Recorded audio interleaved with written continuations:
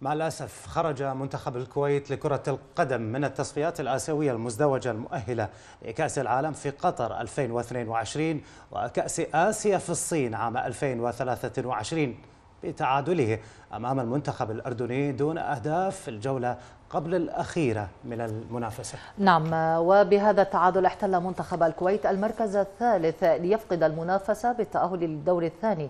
تقرير أحمد العنزي. نكسة جديدة تعرضت لها الكرة الكويتية بخروجه مبكرا من تصفيات كأس العالم بتعادله السلبي مع المنتخب الأردني في الجولة قبل الأخيرة من التصفيات المزدوجة.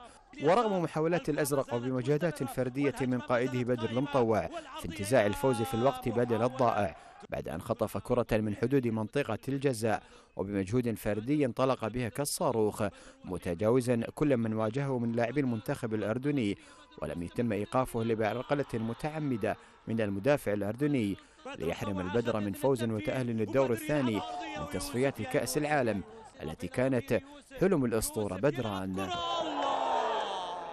ليطلق بعد حكم المباراة البحريني صافرة النهاية منهيا آمال المنتخب الكويتي في المنافسة على البطاقة الثانية لتذرف دموع بدر المطوع التي هزت الشارع الرياضي بأكمله. لا تبكي يا بدر الجميع يعرف عن كل ما قدمته والتاريخ الكبير الذي قدمته إلى جانب كرة القدم الكويتية. الجميع يعرف من هو بدر مطوع أعلم بأن هذا البكاء ليس لنفسك والبكاء ليس على اسم بدر مطوع إنما يبكي على اسم الكويت والسؤال الذي يراود الجماهير الرياضية ماذا قدم مجلس إدارة الاتحاد الكويتي لكرة القدم لتطوير الكرة الكويتية؟